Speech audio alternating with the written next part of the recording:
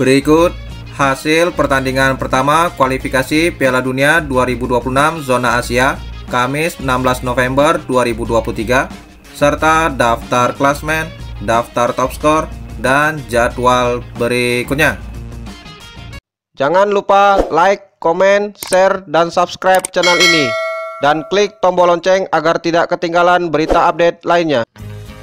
Hasil kualifikasi Piala Dunia Matchday pertama Kamis 16 November 2023 Australia menang 7-0 versus Bangladesh Jepang menang 5-0 versus Myanmar Filipina kalah 0-2 versus Vietnam.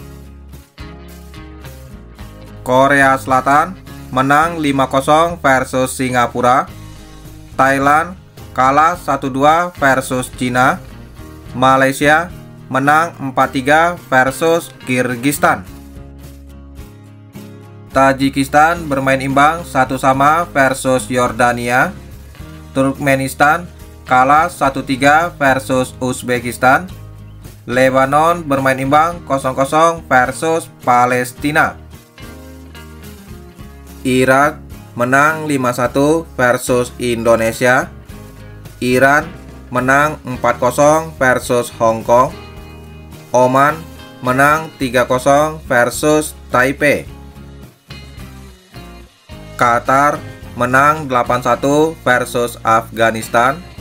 Uni Emirat Arab menang 4-0 versus Nepal.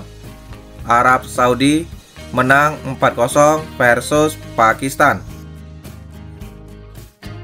Pertandingan lainnya Jumat 17 November 2023 Kuwait kalah 0-1 versus India.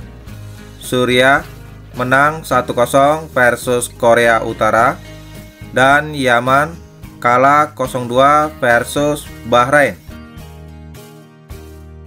Berikut klasmen sementara kualifikasi Piala Dunia tahun 2023.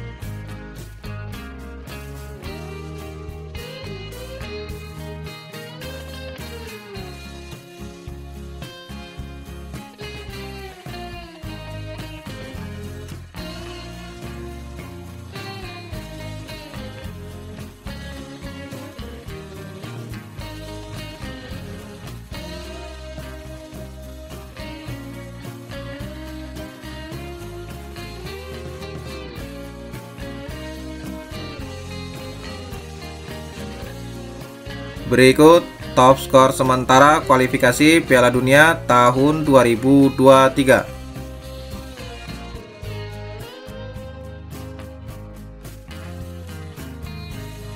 Jadwal pertandingan pekan kedua Selasa 21 November 2023 Filipina versus Indonesia jam 18.00 live RCTI dan Vietnam versus Irak jam 19.00.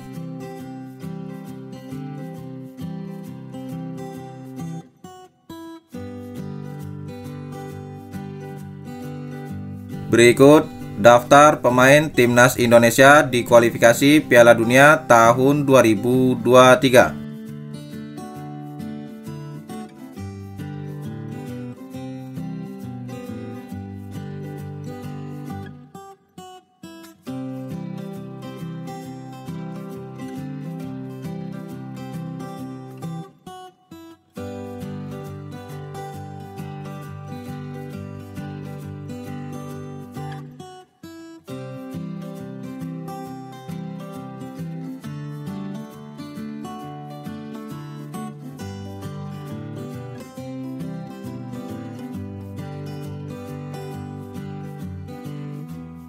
Itulah hasil dan jadwal pertandingan kualifikasi Piala Dunia tahun 2023. Terima kasih telah menonton video ini. Salam olahraga.